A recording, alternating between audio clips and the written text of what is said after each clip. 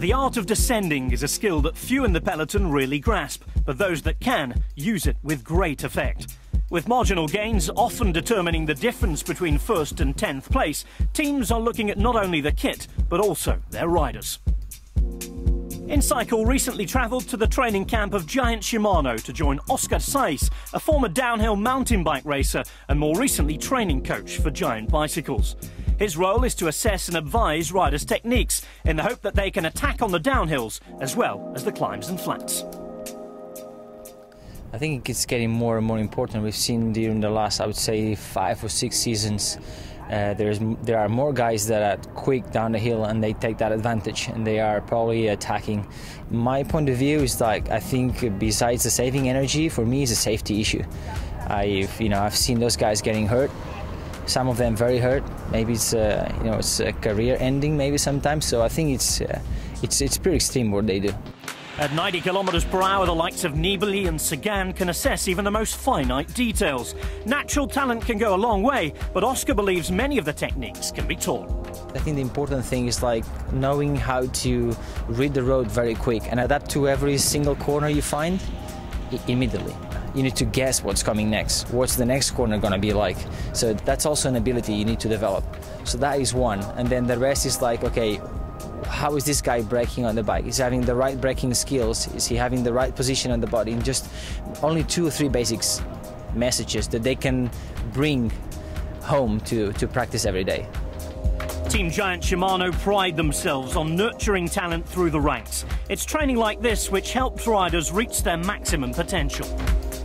I feel that for me it's necessary to, to be a good descender because um, I'm not one of the best climbers in the peloton, so uh, Sometimes I have to take risks to come back to the first group. And uh, yeah, then it's very necessary to, to be good in the downhills. Technique training like we did today, it's really important for uh, every type of rider because uh, you can win uh, the race downhill or you can also lose it. I was a mountain bike before, so uh, it's, uh, it was fun for me and I really like this kind of stuff. Fun for some, terrifying for others. Danger is ever present. Oscar Saiz and Giant Shimano team coach Adrian Helmantel's goal is not necessarily to make their riders the next Samuel Sanchez, but to make them comfortable and acclimatised to descending at a reasonable pace. These small things can also make the difference. Uh, for example, if you are a, a bad downhiller, it, you get stressed in the downhill. Uh, you don't uh, take your time to eat and drink in the downhill, or even worse, you lose uh, time in the downhill.